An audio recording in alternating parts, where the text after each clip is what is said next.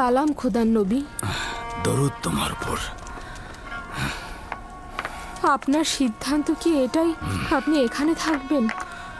হ্যাঁ লিয়া যদি খোদা চায় তো আমি সারা জীবন ইউসুফের জন্য এখানে অপেক্ষা করব। এভাবে আর কতদিন? আর কত অপেক্ষা করবেন? অপেক্ষা অব্যাহত থাকবে।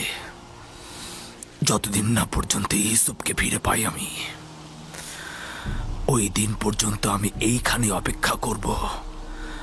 ইউসুফকে নিয়ে অতীতের স্মৃতি রোমন্থন করব আর ভবিষ্যতের স্বপ্ন বুনে যাব। খাবারের সময় হয়ে গেছে এবার তো খেয়ে নিন। হ্যাঁ আসছি। বেনিয়ামিন এসো পুত্র আমার।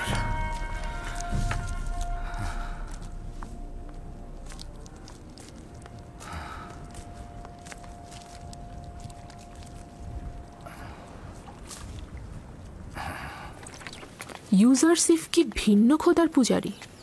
আপনি কিছু জানেন? না আমি এ ব্যাপারে খুব একটা জানি না।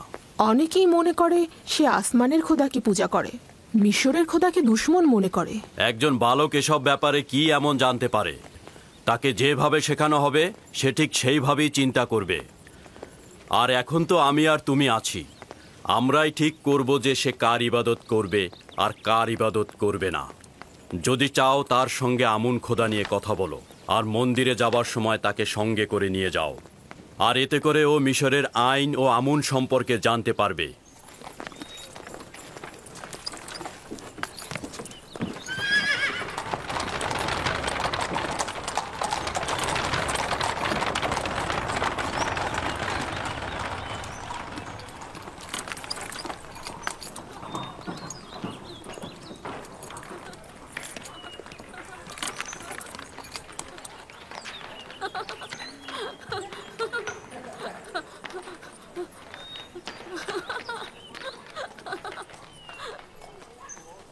ইউজারসিফকে সজ্জিত করে আমার নিকট নিয়ে এসো।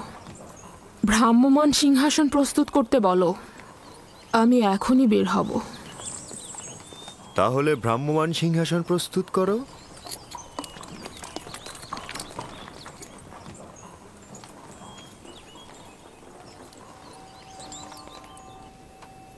সব সময় এমন সাজসজ্জা করে পরিপাটি হয়ে থাকবে। আজকে তোমাকে অনেক বেশি সুদর্শন লাগছে।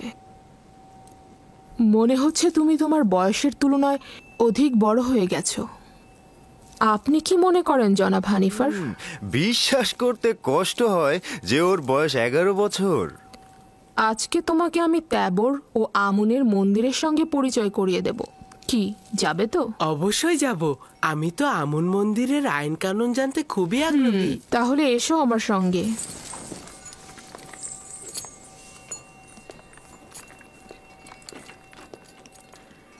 জুলেখা কি সত্যি সত্যি ইউজারসিফকে সন্তান বলে ভাবে? নাকি মুখেই বলে? নিজের কাজ করো।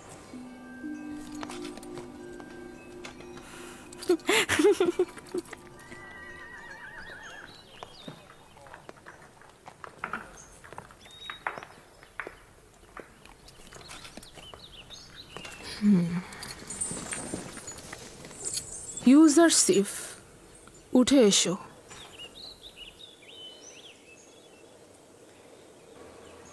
আমাকে ক্ষমা করুন আমি এটাতে করে সাওয়ার হতে পারব না। কেন? ভ্রাম্যমান সিংহাসন কি পছন্দ করো না? আমি কারও কাঁধে সাওয়ার হওয়া পছন্দ করি না।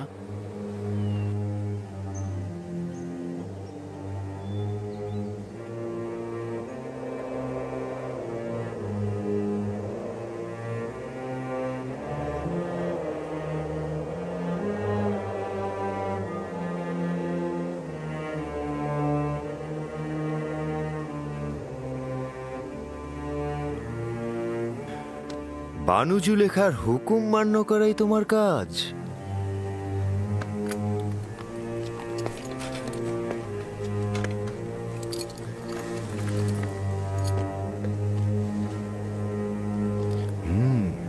রওনা হও।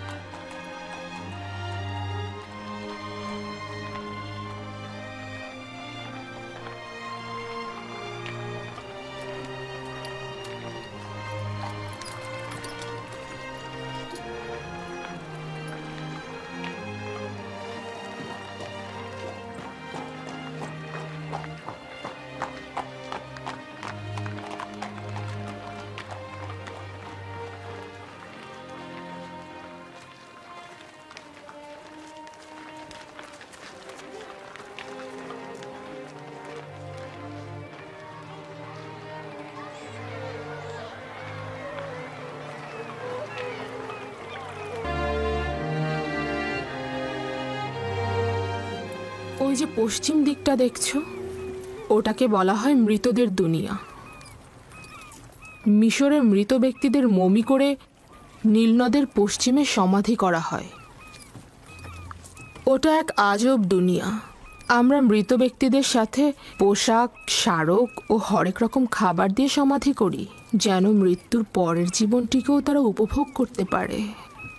বিশেষ ব্যক্তিদের বেলায় অনেক সময় খেদমতদারকেও সঙ্গে দেয়া হয়ে থাকে। তার মানে দেহটা পচে যাওয়ার পরে এগুলো সবকিছু তারা করতে পারে? জানতাম যে তুমি এই প্রশ্নটা করবে। সাধারণ দাফনের ক্ষেত্রে দেহ পচে যায়। মমি করে রাখলে দেহ অক্ষত থাকে। এবং মিশরের মানুষ এটা বিশ্বাস করে যে মমি করা দেহে আত্মা পুনরায় প্রবেশ করে এবং সে আবার জীবিত হয়ে ওঠে। এই সময় সে সঙ্গে করে যা নিয়ে যায় মৃতদের দুনিয়ায় সে তা ব্যবহার করতে পারে। কবর ভেদ করে মৃত ব্যক্তিদের বের করে আনা যায় না। বাহিরের জিন্দেগির থেকে ভেতরের জিন্দেগিটাই অনেক ভালো। আমি তা জানি না। আমার তা জানা নেই।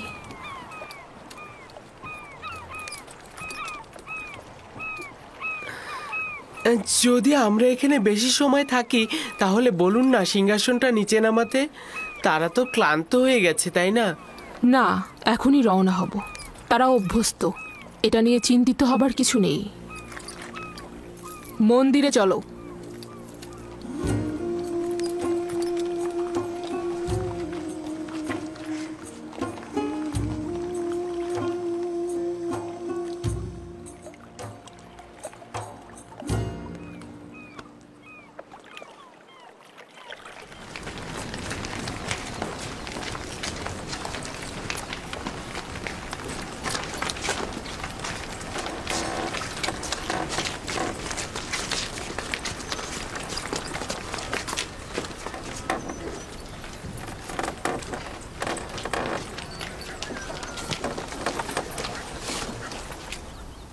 আমুনের এবাদতখানা। আমরা এখন মহান খোদা আমুনের সকালে জাগ্রত হবার উৎসবে সামিল হব। তার মানে আমুন মিশরের মহান খোদা গতরাতে ঘুমিয়েছিলেন? হ্যাঁ। আমুন এবং অন্যান্য খোদাগণ রাতগুলোতে বিশ্রাম করে থাকেন। কিন্তু গভীর রাতে কোনো বান্দা যদি তার কাছে কিছু চাইতে আসে তখন বান্দাগণ আমন খোদার ন্যায় রজনীগুলোতে বিশ্রাম নেবেন। এবাদতের জন্য খোদাগণ দিবসগুলো নির্ধারণ করেছেন।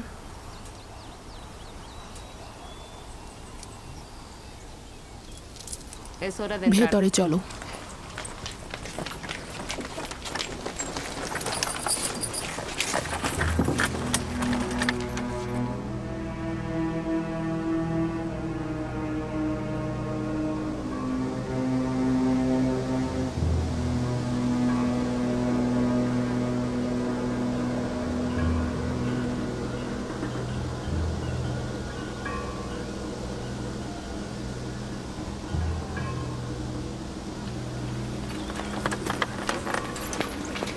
শুধুমাত্র আমরের অনুসারীরাই ভেতরে প্রবেশ করতে পারবে।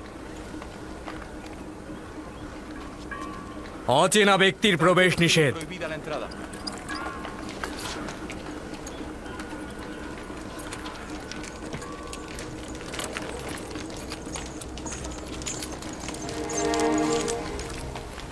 সকল খাদেমগণ পূর্বেই নিজেদেরকে নীল নদে পবিত্র করে নিয়েছেন।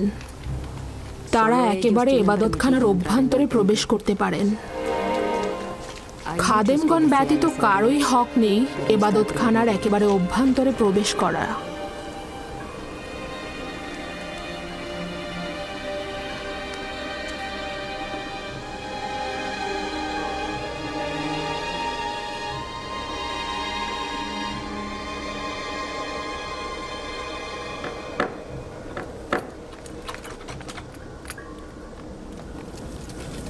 ওই প্রসাধনীগুলো দ্বারা আমুনকে ধৌত করে পবিত্র করা হবে। তার পোশাকও পরিবর্তন করা হবে। আকর্ষণীয় অলংকার দ্বারা তাকে সজ্জিত করা হবে। তাকে উন্নত সুগন্ধি মাখানো হবে এবং তাকে বান্দাদের এবাদতের জন্য প্রস্তুত করা হবে। তার মানে কেউ যদি চায় নির্জনে একাকী ইবাদত করবে তাহলে কি সে পারবে না? না। আমন খোদাকে শুধুমাত্র এবাদতখানার অভ্যন্তরে এবাদত করা হয়ে থাকে।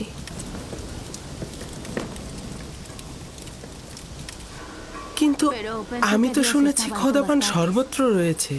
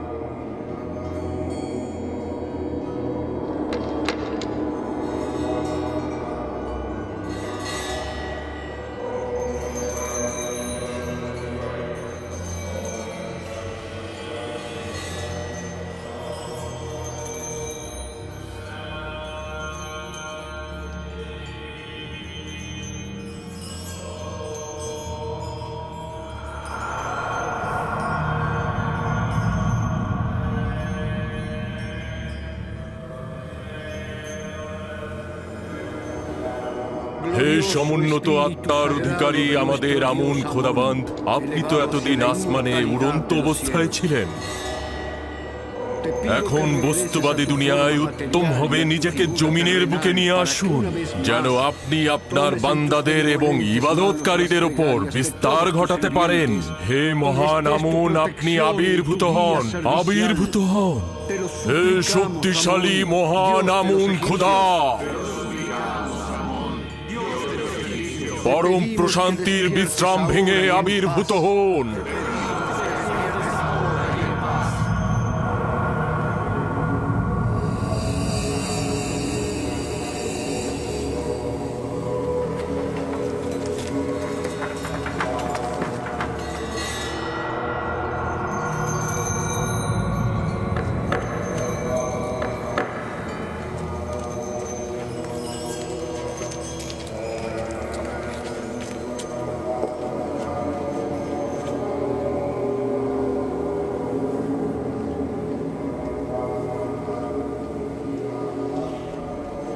হে শক্তিশালী আমন, আপনার জন্য আমি যে কোরবানিগুলো নিয়ে এসেছি, সেগুলো আপনি সাদরে গ্রহণ করুন এবং হাদিয়ার বিনিময়ে আমাদের বরকত দান করুন।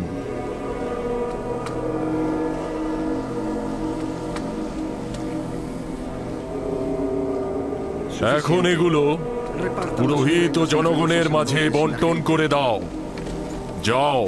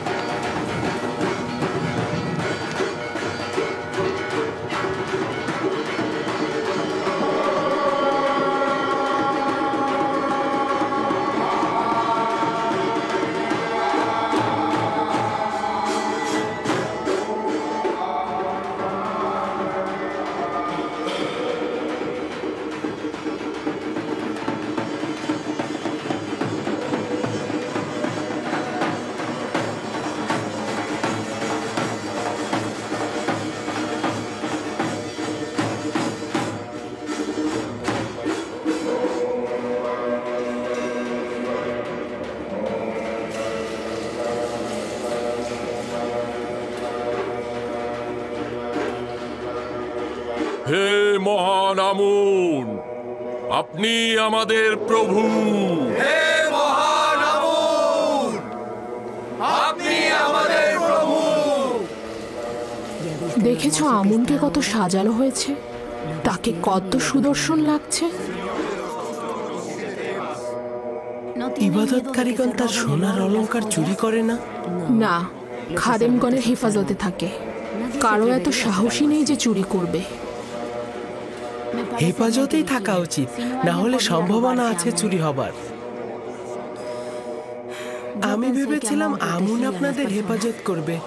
কিন্তু খাদেম ও বান্দাগণ উল্টো তারই হেফাজত করছে দেখছি। তাতে কি অসুবিধা। আমন সর্বোত্তম ও সর্বোৎকৃষ্ট বস্তু যা আমাদের কাছে রয়েছে, তাকে তো হেফাজত করতেই হবে।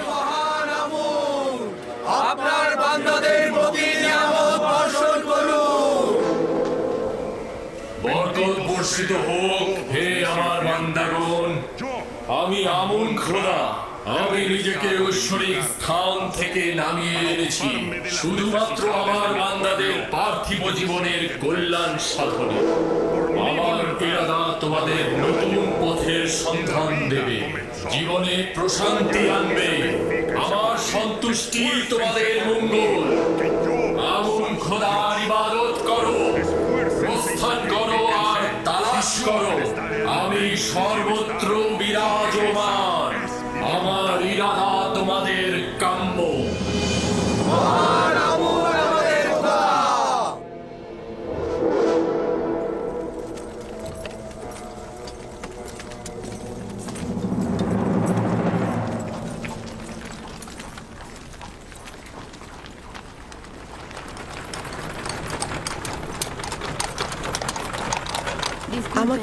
করবেন।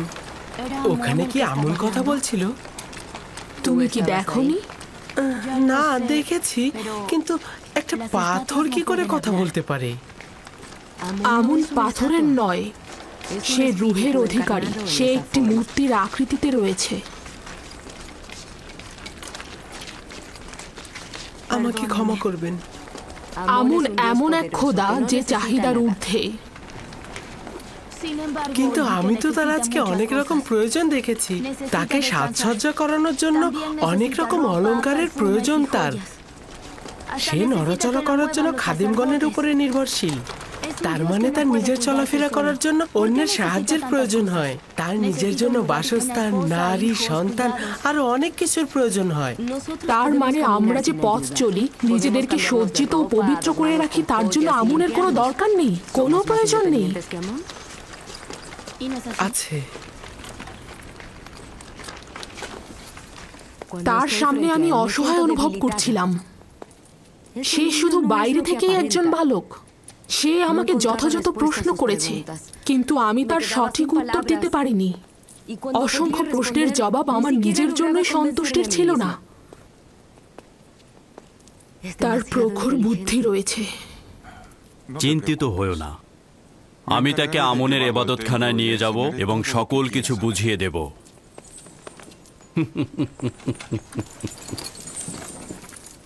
আমি নিঃসন্দেহে বলছি ও আমাকে আমন সম্পর্কে সন্দেহের বেড়া বেড়াজালে আটকে ফেলেছে। তাহলে বলছো যে শিকারী তার নিজের ফাঁদে নিজেই আটকা পড়েছে। খাবার আসতে কত দূর? এমন খিদে পেয়েছে মনে হচ্ছে যেন একটা গোটা ভেড়া আমি একাই সাবার করে ফেলব।